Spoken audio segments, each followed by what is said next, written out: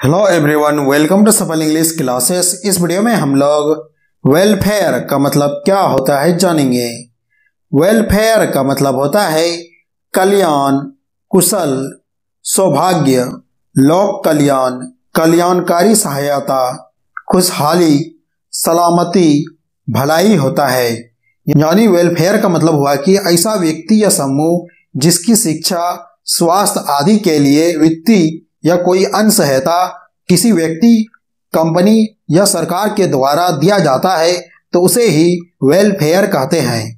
अब चलिए welfare word के सेंटेंस के एग्ज़ाम्पल से इसको और अच्छी तरह समझते हैं।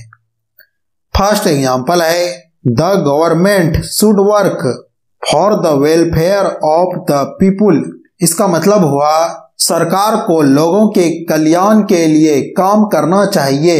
नेक्स्ट एग्ज़ाम्पल है द न्यू गवर्नमेंट अनाउंस्ड, नई सरकार ने घोषणा की, a complete reform of the welfare system, कल्याण प्रणाली के पूर्ण सुधार की। पूरे सेंटेंस का मतलब हुआ, नई सरकार ने कल्याण प्रणाली के पूर्ण सुधार की घोषणा की।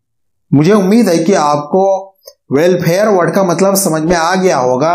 और अगर आपको ये वीडियो पसंद आया तो वीडियो को लाइक कीजिए और अपने दोस्तों के साथ वीडियो को शेयर कीजिए। धन्यवाद।